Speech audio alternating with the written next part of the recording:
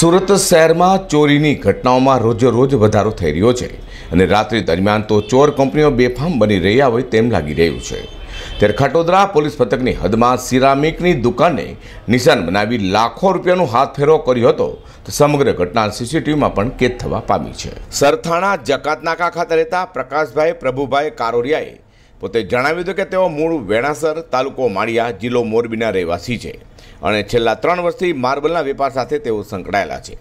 તો ગત તારીખ સત્તરમી ડિસેમ્બર બે હજાર એકવીસના રોજ રાત્રે અગિયાર વાગ્યાના નરસામાં બે ઈસમો તેઓની ખટોદરા ખાતે આવેલા શનિદેવ મંદિર સામેના કાનજી એસ્ટેટમાં બેમાં આવેલી તરણજીત સિરામિક પ્રાઇવેટ લિમિટેડ નામની દુકાનને હાલ ત્યાં આવ્યા હતા અને ચોરો નિશાન બનાવી હતી. લોખંડની ગ્રીલના સળિયા તોડી ઓફિસના ટેબલના ડ્રોવરમાં મૂકેલા. વેપાર ધંધાના કલેક્શનના રોકડા રૂપિયા ત્રણ લાખ તેર હજારથી વધુની મતાની તો માસની માસધારી ચોરો ચોરી કરી ભાગી છૂટ્યા છે જે સમગ્ર ઘટના સીસીટીવીમાં કેદ થવા પામી છે.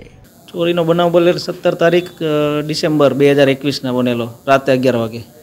શું શું વસ્તુ ગયેલી કેસમાં કે કેસની અમાઉન્ટ હતી જે ડ્રોવરમાં જે એ લોકો તોડીને કેસ લઈને નીકળી ગયેલા છે જે સીસીટીવીમાં બધું છે દેખાય છે. કેટલા પૈસા હશે?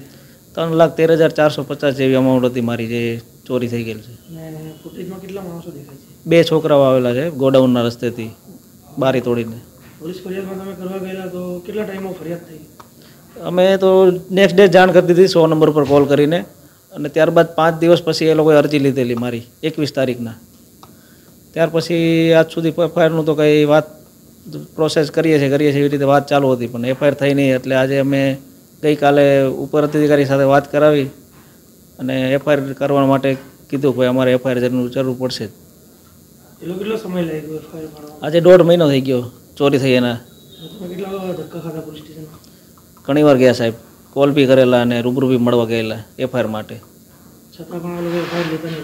એફઆઈઆર એમ કહેતા હતા કે ભાઈ અમે એ અરજી ઉપર અમારી તપાસ ચાલુ છે એમ. શોધી રહ્યા છીએ ચોરને. સિરામિકની દુકાનમાં રાત્રિના સમયે તસ્કરે લાખો રૂપિયાનો હાથ ફેરો કર્યો હોય જેને લઈને ખટોદરા પોલીસ પણ દોડતી થઈ જવા પામી હતી અને ગુનો નોંધી સીસીટીવીના આધારે તપાસ શરૂ કરી છે. અઝર કુર્સી સાથે પ્રકાશવાળા.